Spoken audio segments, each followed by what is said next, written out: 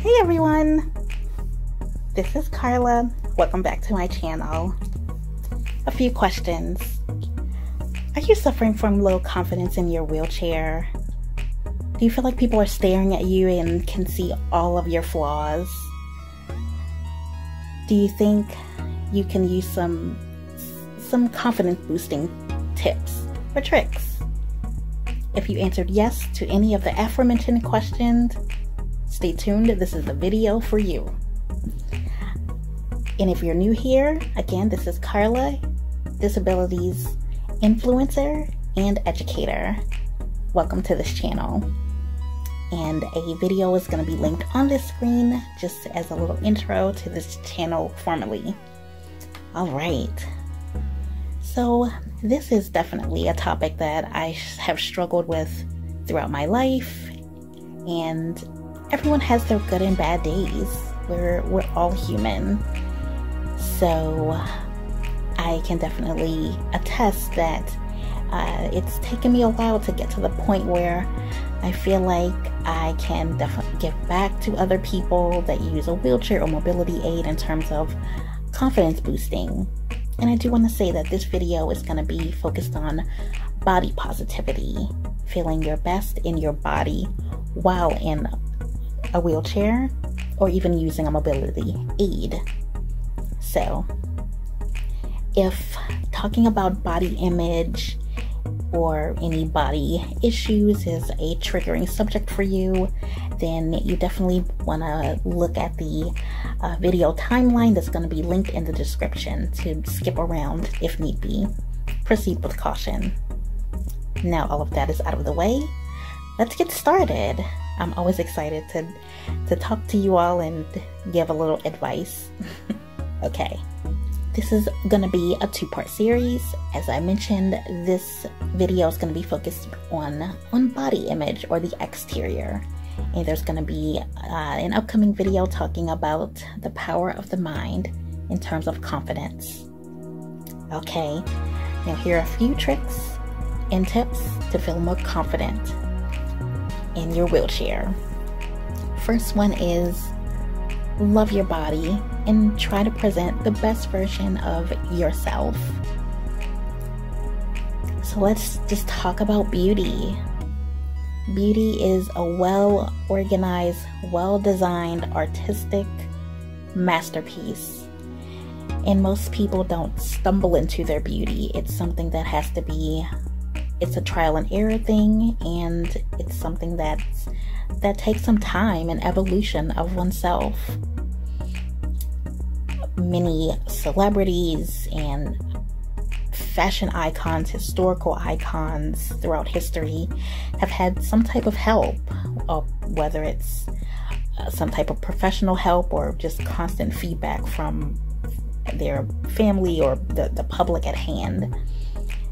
But in this century, in this day and age, you viewer can have just as much help. and and that comes in the form of YouTube makeup tutorials, makeup uh, gurus and influencers on all types of social media platforms. So you can definitely study beauty and learn. Uh, there are books and auto or there are books by some of your favorite celebrities and even some of their behind the scene glam team.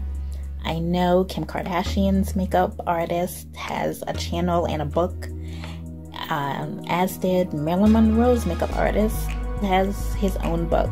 So there definitely are some, those are just a few of the masters out there that help these icons become who they are.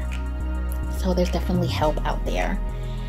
Uh, so I mentioned those, and there was uh, there was old photographs of of people that you can look at. Even though I would caution one to be careful with looking at photographs because a version of Photoshop has been around since basically pictures have been being taken. So be careful with that. But anyway, and if And another way to present the best version of yourself and loving yourself is just to identify some points of pride. I'm going to say above the neck and below the neck. So I'll I'll start. I'll give you my pride point on let's say above the neck. I I'd say I I love my smile. I love presenting my smile and I love the effect it can have on others. So I do it quite often and it's something I'm proud of. So I would say identify those pride pride points and accentuate them. So I do it with lipstick and other ways to accentuate the mouth. And I definitely have a video coming forthcoming about makeup. That is something forthcoming. Uh, as mentioned in my original video, uh, part of my disability does affect affect my hands. So um, I uh, I have to uh, definitely be creative when it comes to putting on makeup and that type of thing. And I can't wait to show you all how I do it. All right. Next, um, I'd say a pride point for me below the neck is you scoundrel. Who do you think I am? How dare you? Another part of presenting your best self are channeling the senses. So, I just mentioned presenting the best version of yourself in terms of how you look on the outside, but you can maybe try and wear a beautiful fragrance, whether it's perfume, cologne, or even just being around a scented candle. Uh, s- smell is a sense and one that can provoke positive reactions. And another version of one that one can present themselves are their language skills or conversational skills.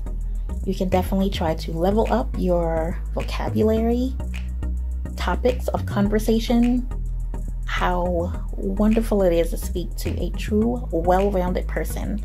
Someone that can talk about any topic from A to Z. Just those super cultured, super interesting, semi mysterious people that can talk on topics from Apollo to zebras and many things in between.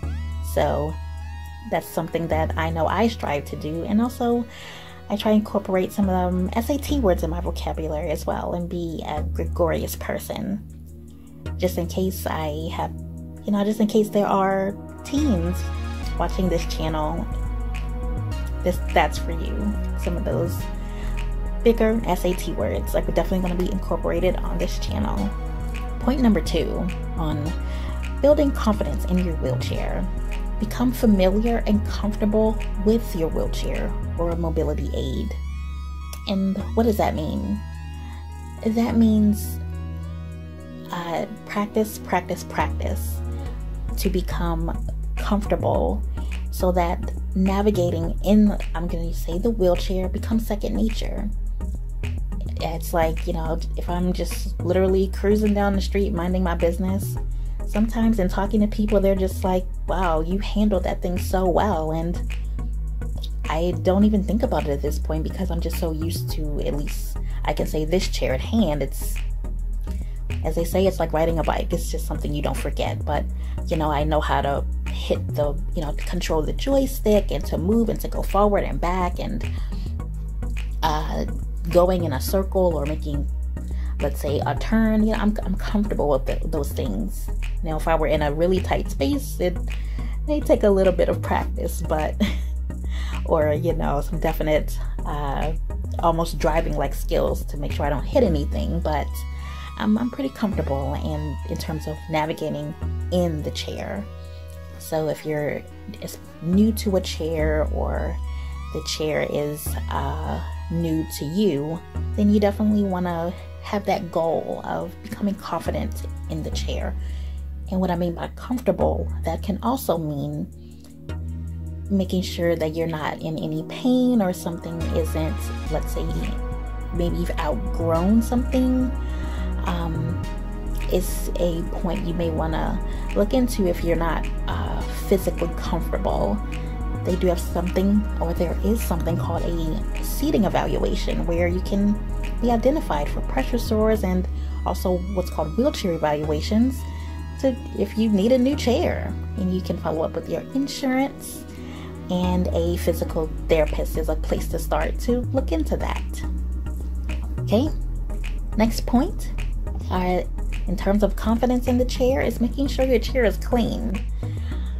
Uh, this these wheelchairs and mobility aids do get dirty and it's like another it's like a chair or an object. It can get dust on it or food on it. It's sometimes i don't know where some of the things on this chair where they even come from but i know for me uh, uh, i'm more confident when i know my chair is clean and fresh fresh and so clean is another point where I can feel not as confident when my chair isn't as clean. So it's something I definitely try and uh, and keep try and keep on top of.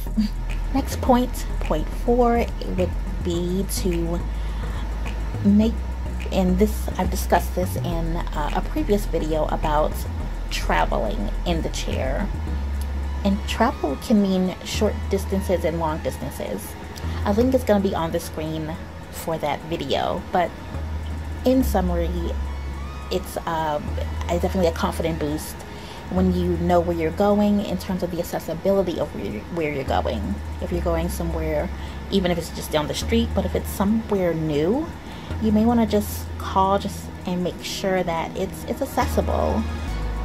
I know that for me, if I'm going somewhere that's inaccessible or a challenge in terms of, of accessibility, uh, I am not as confident and a little a little frightened actually. You don't know what's going to happen, or you don't know who you're going to be needing to talk to. So, making sure those things are lined up in place before you go somewhere is definitely a confidence booster. Uh, and if you look, if you feel good on the inside, it'll show on the outside. Definitely. Number four, prepare for times when you're not feeling your best physically. And let's talk about that a little bit. So, when you're not feeling your best, if you're having a flare up or just uh, not at your 100, but either you have to do something or doing something you think will make you feel better. I know for me, I plan to have, or I do have a few pieces of clothing in my wardrobe that I know will fit my body when let's say I'm in pain. If I'm having a flare up, then I may not wear something as form fitting or something that requires a lot of pulling. For example, pants. Well, honestly, I don't wear a lot of pants anyway, but when I do wear pants, it's definitely when I'm not feeling a shape, tip top shape.